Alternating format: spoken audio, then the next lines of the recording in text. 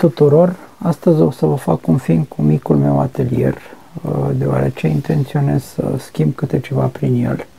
Și atunci am zis să-l filmez acum. E un film la care muncesc de foarte mult timp, sau să zic atelierul meu uh, la atelierul meu muncesc de foarte mult timp. Uh, anul acesta a trebuit să-l mut și Vreau să vă prezint câteva lucruri din el. Nu cred că l-ați văzut niciodată uh, în întregime.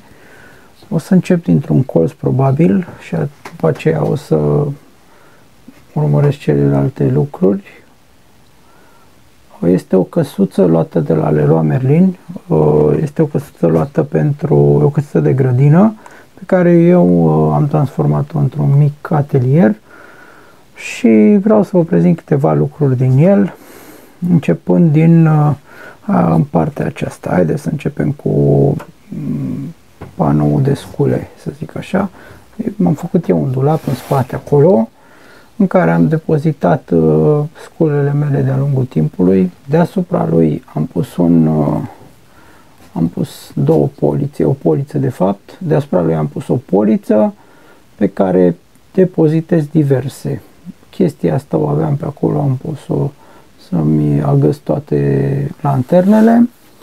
Aici mi-am depozitat sculele electrice de la Parside și cât și cele pe acumulator, urmând cu bormașinile. Dacă o să mă întrebați de ce am atât de multe bormașini, mm, o să vă răspund, dar uh, haideți să vă explic. Acestea de la Bosch Professional le am de foarte mulți ani, de vreo 3-4 ani, poate chiar 5, după care anul trecut am încercat să trec la cele brushless de la DeWalt. Am cumpărat două dintre ele, una de impact și una normală, după care am prins o ofertă în Anglia la unele cu patru acumulatori și am zis că e păcat să nu le iau și atunci am rămas și cu ele, trebuie să fac ceva cu ele că deja sunt prea multe. Uh, Parsai Performance-ul am început să le iau pentru teste și să văd ce cu ele Uh, deoarece avem destul de multe scule de la Parside și a apărut performance-ul, toată lumea a zis că sunt foarte bune și am zis că hai să le iau. Am și un 12 volți, am și impactul, am și încă una, uh, încă o bormașină filetantă. De la Bosch aveam doar uh, filetantă cu încă una de 12 volți.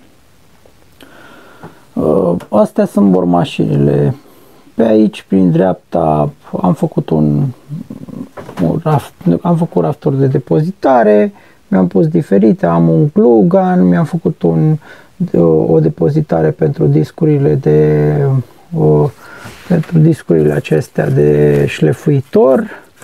O, mi-am depozitat diferite lucruri și aici îmi țin gigurile de, de îmbinări ascunse. Da, într-adevăr am trei giguri Uh, am vrut să le iau, uh, să, le, să văd diferențele între ele. Pe primul pe care l-am avut a fost cel de la Wolfcraft, după care mi-am luat de la Parsite și am primit cadou de la Ferroshop uh, și de la Craig acest jig de la Craig, foarte cunoscut în America. O să vedeți filme. În cutia aceea, în cutia aceasta de aici am un set de la Dremel pentru, pentru a lipi fire și acest, uh, acest, uh, să zic așa, acest dulăpior, să zic așa, uh, l-am făcut în așa fel încât să pot să deschid această ușă. Și aici am mai depozitat alte scule cum ar fi circularul de 12 volți, mai am o freză de la ei, o freză de la Parsai care încă nu i-am găsit nicio întrebuințare, am făcut un singur lucru cu ea, am făcut cantul acesta de la să bag firul, dar mi s-a părut foarte greu, am făcut cantul acesta să bag firul, dar mi s-a părut foarte, foarte greu, că merge foarte greu, și așa, în rest nu prea am folosit-o, am șlefuitorul pe care l-am folosit, capsatorul, Uh, două pistoale de glue gun, am unul cu gaz și unul cu fir, îl folosesc pe cel cu fir, deși la început am zis că o să fie cel cu gaz, nu știu exact dacă cel cu gaz mai merge bine, nici nu l-am mai încercat. Uh, aici am încărcătoarele, Parside, Enhel, deși de la Enhel nu mai am scula, am rămas cu încărcătorul și cu acumulatorul în caz în care mai trebuie să mai testez ceva. Am încărcătorul de la Bosch de 12 V, încărcătorul de la Bosch de 18 V, încărcătoarele de la Parsai de 12 V și cel de 20 de V. Haideți să continuăm. Am aici flexul verde. L-am luat mai mult pentru simplu fapt că are, are variator de turație. Am uh, vechiul meu uh, de desubt, am vechiul meu uh, de desubt, am vechiul meu uh, pendular de la Bosch, uh, Bosch verde, foarte mulțumit de el, este modelul 900, uh, PST 900 PEL, în spatele lui am un skill de 380 de W, cu asta am pus parchetul la mine în casă, vreo 60 de metri pătrați împreună cu nașul meu, care m-a ajutat de la el, îl și am. S-a stricat uh, rotița aceea din spate care ține lama și atunci am trecut și la următorul. Am mai avut unul de la Enhel pe care l-am dat cadou tatălui meu. Aici am suportul acela de, de fire pentru atunci când lipești. Aici am de la KVB Înainte așa îmi țineam sculele. Am de la KVB niște accesorii pentru Line Master. Și am și o... Și astea tot de la KVB sunt pentru Line Master. Și am și o menghină pentru patru colțuri. Se folosește la rame în special. Așa. Cutii din astea, astea de la Lidl. Am luat foarte multe. A fost o serie foarte bună, după care a urmat o serie mai proastă nu au mai fost așa bune ca acestea. Uh, aici uh, am trecut în partea dreaptă și am uitat să vă spun. Aici am ascuțitorul de burghie pe care l-am cumpărat. Am uh, circularul de 12 V, am capsatorul, am șlefuitorul pe care l-am folosit foarte mult.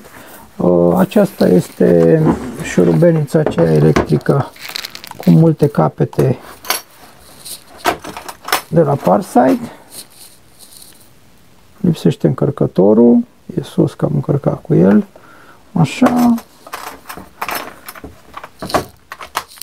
Am o torță de la Lidl pe care am luat-o să mai aprind și să mai negrez lemnul pe unde mai vreau. E o tehnică pe la folosită pe la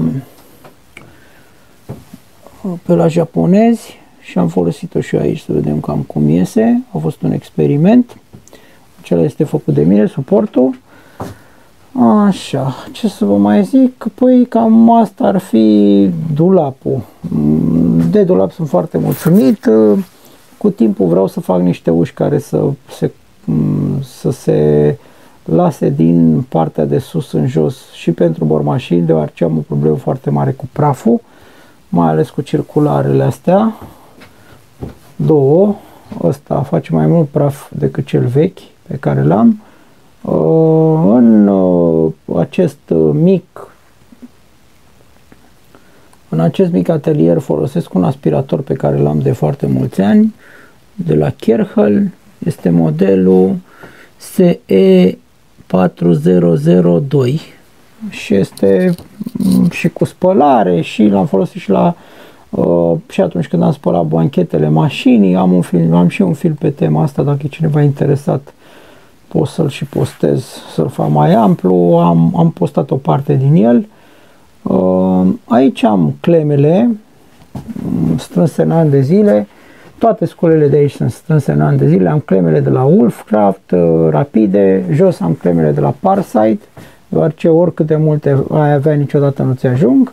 Aici am un colțișor de Mengin la 90 de grade plus încă una simplă, am câteva accesorii de la, de la Wolfcraft.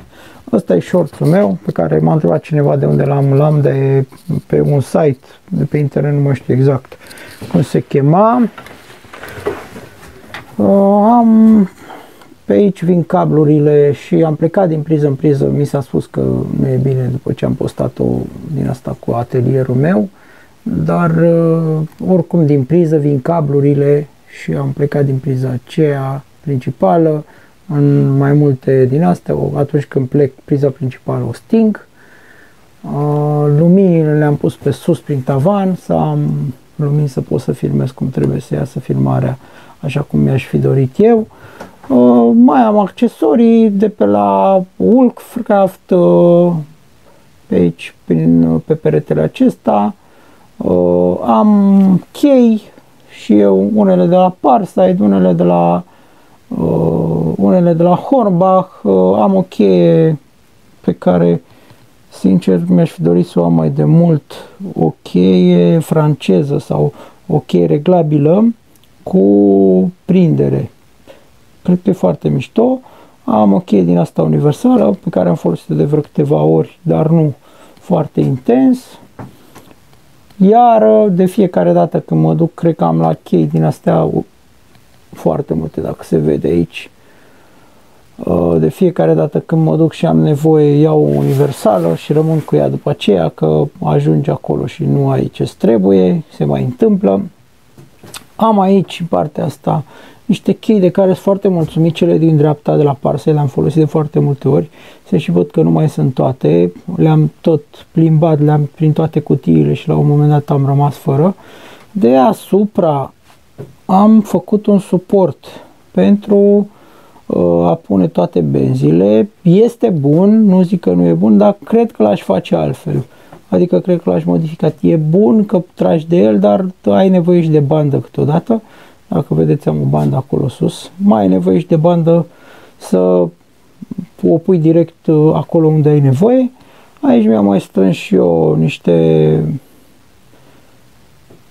niște fierăstraie. Asta este niște, asta e un fierăstrău de la Parsai. Nu prea îmi place că are lama foarte subțire și nu prea e așa bun. Uh, în schimb, astea japoneze sunt super mega încântat de ele. Atât de încântat încât după ce mi-am luat unul de la de la Hornbach, mi-am mai luat încă trei de la Parside.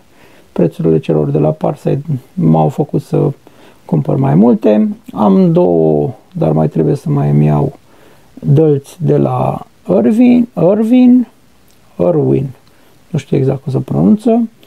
Ehm, sunt o firmă care pe afară sunt foarte cunoscuți, au început să apară și pe la noi ușor, ușor și așteptăm mai multe. Aici am toate ciocanele mele strânse, mai lipsesc vreo două, unul s-a rupt coada, trebuie să-i fac ceva, unul a rămas pe la un prieten, e din ăla gen de tâmplărie și aici am două, trei de fapt, uh, luate de-a lungul timpului, sunt uh, special pentru, pentru acest uh, tip de fierăstrău, așa au venit în set, dar se pot folosi și cu alte fierăstraie gen cele de la cele japoneze.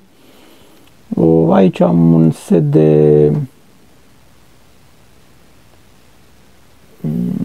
nu mai știu cum le ziceam noi, preducele, când eram mic, ce așa știam că să zic, se zice la ele, un capsator manual și cam ăsta ar fi colțul. Aici am circularul de la Parsed, acesta este de 2000 de W, îl am și pe cel de dedesubt, pe care îl am de foarte mulți ani, l-am și folosit în câteva proiecte de mele și am fost mulțumite, el doar că mi se părea că câteodată are nevoie de mai multă putere.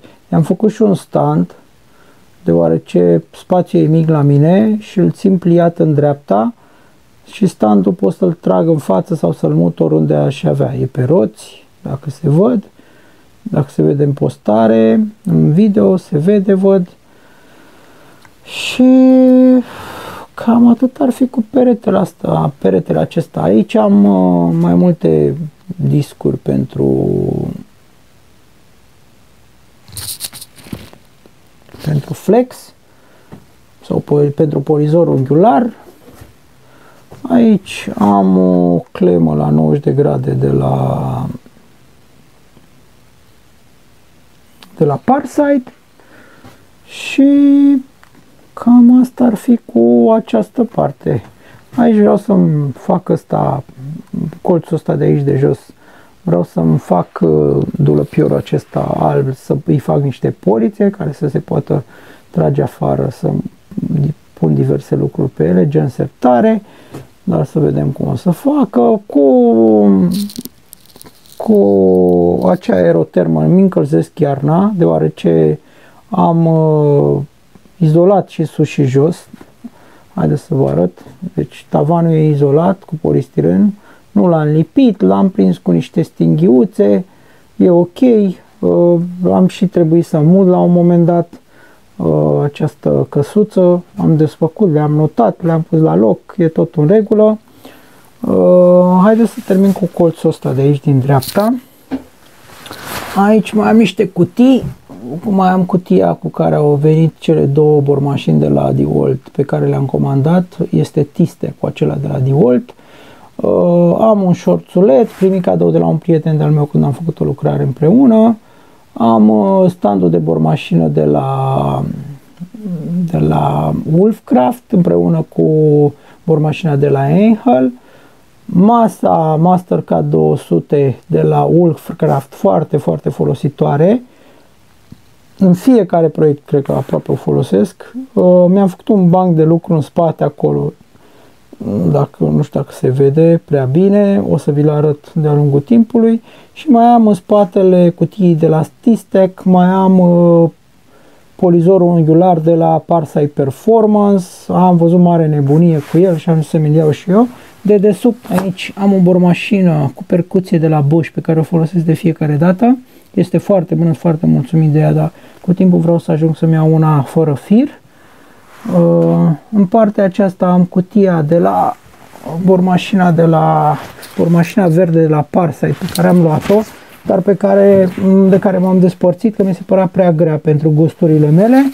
Mai am uh, bormașina de la cutia de la bormașina de la Bosch Professional și în spate acolo, nu știu dacă se vede bine, am un stand de flex cu un flex pe care l-am de foarte mulți ani, budget mi se pare că se cheamă și cam asta ar fi tot partea aceasta de jos. Aici am bormașina, de, bormașina cu stand de la bormașina de stand de la Parsite care e în cutie, e măricică și deocamdată n-am avut loc să o să o pun în, în funcțiune, e cam micuț, o să încerc să găsesc o soluție și cu ea. Și aici mi-am pus uh, perete pe perete. Chestiile acestea pe care le vedeți sunt niște polițe de la Ikea pe care le-am luat mai de mult la reducere cu care mi-am făcut multe proiecte, le-am găsit la 5 lei bucata și am luat tot ce era pe stoc. Și de atunci mi-am făcut niște dulăpioare, mi-am făcut un spate la, mi-am făcut un șezut sau nu știu cum se cheamă, spătar la pat și aici mi-am așezat diverse lucruri. Am foarte multe accesorii de la Wolfcraft, nu știu dacă ați văzut, dar sunt fan. Am o foarfecă, am o foarfecă specială care taie foarte bine furtunele și plasticele. După cum vedeți, am două seturi de biți de la Bosch Professional, deoarece am rătăcit unul la un moment dat și atât de mult mi-a plăcut încât mi-am mai luat încă unul și acum am două dacă se văd bine, dar sunt unul peste altul. Am un set de carote uh, care sunt slăbuțe. Uh, pe partea aceasta mi-am pus uneltele de, de tăiat. Un sfat foarte important pentru cei care vor să taie mm, ceva gen tartan. Mi-am cumpărat acest uh, acest cutter de la Stanley. E un cutter cu lama mai mare și e foarte bun pentru așa ceva. Așa, mai am diferite scule de tăiat, am chestia asta de la Vera de care sunt foarte, foarte mulțumit. Setul ăsta îl am de peste 10-12 ani și este, s-a ridicat tot timpul așteptărilor. Mi-am luat niște burghie de la Alpen, mi-am luat unele din astea multi, multimaterial și foarte mulțumit de ele și mai se văd unele aici, sunt din acelea de lemn. Nu prea le folosesc pe astea de lemn, că nu-mi place, nu-mi place foarte mult cum sparg, cum sparg lemnul. Eu lucrez cu lemn mm, relativ slab și atunci se întâmplă niște lucruri care nu-mi plac.